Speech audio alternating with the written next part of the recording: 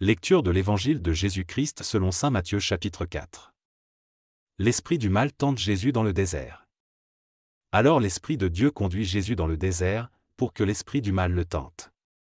Pendant quarante jours et quarante nuits, Jésus ne mange rien. Ensuite il a faim. L'Esprit du mal s'approche de Jésus pour le tenter et il lui dit, Si tu es le Fils de Dieu, dis à ces pierres, changez-vous en pain.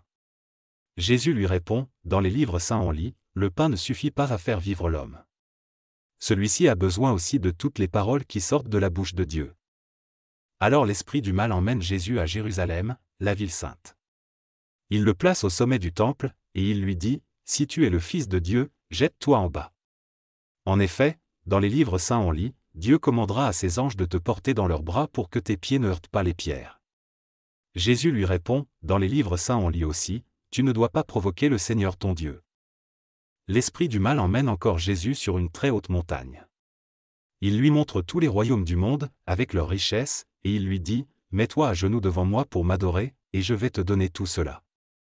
Jésus lui dit, Va-t'en, Satan. En effet, dans les livres saints on lit, c'est le Seigneur ton Dieu que tu dois adorer, et c'est lui seul que tu dois servir. Alors l'esprit du mal laisse Jésus. Des anges s'approchent de Jésus, et ils lui donnent à manger. Jésus commence à annoncer la bonne nouvelle en Galilée. Jean a été mis en prison. Quand Jésus apprend cela, il part pour la Galilée. Il ne reste pas à Nazareth et il va habiter à Capernaum, au bord du lac, dans la région de Zabulon et de Nephtali. Ainsi se réalise cette parole du prophète Ésaïe.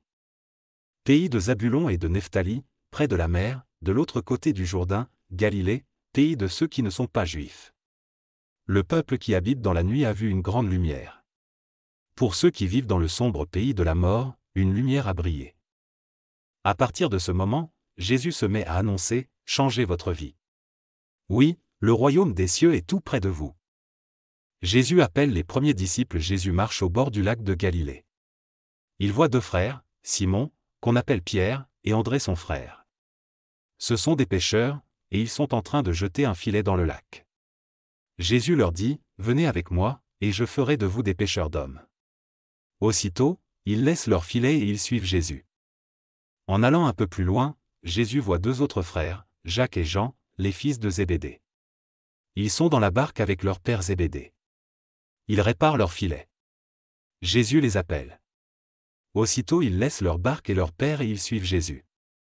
Jésus enseigne et guérit les foules. Jésus va dans toute la Galilée. Il enseigne dans les maisons de prière juives, il annonce la bonne nouvelle du royaume, il guérit les gens de toutes leurs maladies et de toutes leurs douleurs.